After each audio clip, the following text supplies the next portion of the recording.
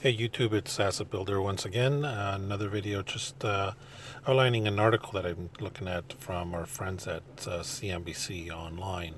Um, basically indicating that uh, gold was steady today, but is predicted to be firmer on physical demand. So it sounds to me like they're indicating that uh, physical demand is uh, predicted to go higher.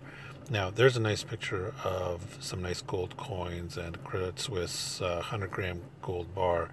So it looks like there's some Krugerrands there and um, an American silver, uh, sorry, an American gold coin and a Mexican gold Libertad.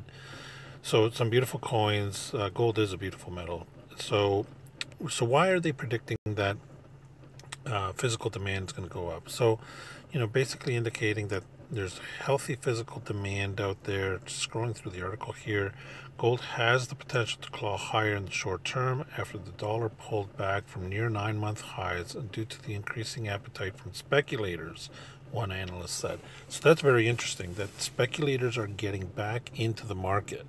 So this, uh, to me, is uh, quite fascinating because this is going to really drive the price of gold higher. Um, now, once the speculators get in, you know how they are. They're pretty uh, greedy uh, individuals. So, speculators are the type of people that uh, really um, are one of the it's the group that really drives the market at the end right they're the ones who are going to make the metal spike higher um, so with gold spiking higher and physical demand rising for gold, then silver will uh, follow suit. You know, they, they typically go in uh, tandem, in parallel, although, however, uh, silver does spike faster to the upside as well as it spikes down faster to the downside. So, um, article continues to say we've seen the dollar rally halted and that may give gold some additional room to maneuver to the upside. So I'm quietly constructive for gold, said Ole Hansen, head of commodity strategy at Saxo Bank in Copenhagen. So one of the largest, if not the largest, Danish um, bank, and uh, Denmark is one of those safe haven uh, banking um, jurisdictions in the world that's really been left untouched, unlike the Swiss banking system. So we continue to read. Uh, outside markets are supportive. We we're seeing weakness in the stock markets. Oil is trading lower, and the dollar is a tad weaker.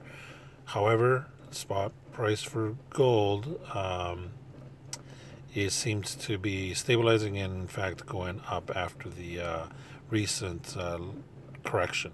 So, folks, uh, you know, this is a very encouraging article to me.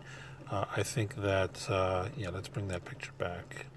Uh, beautiful coins there and beautiful bar. Uh, gold is uh, definitely a, a, a, commodity that's going to be going higher. I do predict, uh, as you've been seeing in some of my videos, that um, um, the European financial system, banking system is ready to collapse. But Deutsche Bank is probably going to be the trigger there.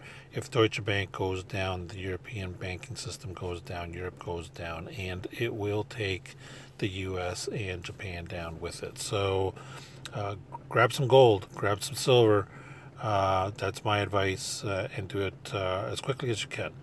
Uh, I think 2017 could be the year for some of this uh, financial crisis to really kick into high gear. Um, so more to come obviously. Uh, stay tuned. Uh, so hopefully you liked the video so please press that button that like button. Uh, share this video if you thought it was worthwhile uh, make some comments. You know let me know what your thoughts and opinions are. Would love to hear from you. I will respond. And definitely subscribe to my channel. I think that there's been some interesting uh, useful content uploaded and much much more to come. So thank you very much everybody. Have a great day